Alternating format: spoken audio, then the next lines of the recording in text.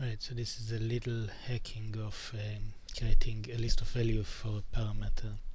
So what we have is we have one view object which is called department by location and it has a condition here based on a bind parameter uh, looking up departments by their location.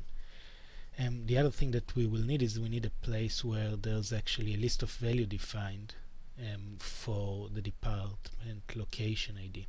Right, so this is another view object, it's just the departments view, and it has a location ID field in it, right? And there's a list of value defined for it. You can actually double click it to see how the definition goes. It's uh, connecting to a view that fetches all the location by the location ID, and it's using an input text with list of values, and it's showing up the city. Okay, so those are the two views that we have. We're going to create a screen that basically uses this view object. So, so go over and create a new JSF page. Right, and over here we can simply take the departments by location.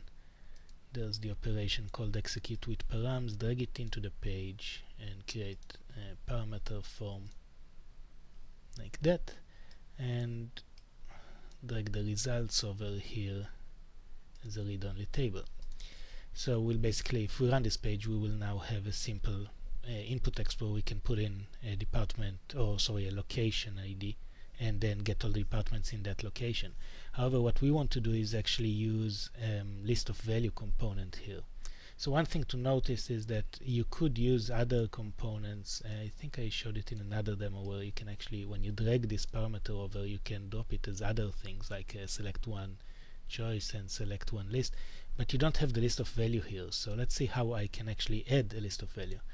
And what I'm going to do here is I'm basically going to take an input list of value, right click on it and drag it over the component which will offer me the option to convert the component to a list of values. So what it's doing here is actually changing a little bit the binding and we'll fix it in a second. So now I have a list of value component here but if you actually run the page at this stage you'll see that it doesn't work. Um, one of the main reasons is because there's no model defined for the list of values so there's no place where I can get the list of value from and this is what I'm going to fix um, in the binding tab.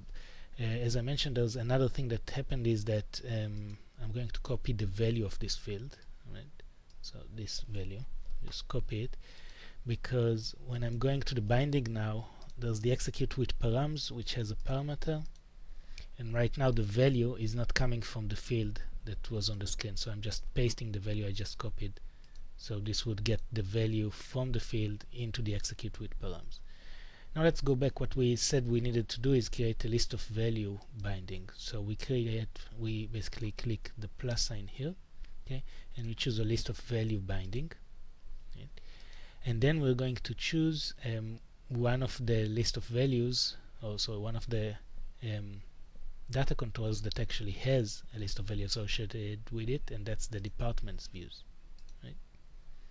And we remember that the location ID has the list of value uh, binding model associated with it. So we're going to choose this one. Okay. So we just added this little binding which is a list of value type of binding. You can see it by the logo or the icon here which is called location ID to our page. So now if we go back to the page and click the little component here in the model property we can pop up the expression builder and navigate our binding we'll see here's the location ID binding. Okay that we just defined you can again uh, identify the icon. If you scroll down you'll see that there's a property here called list of values model. And you choose this one and this is the value for this field. Then this is it. You click save and you run your page.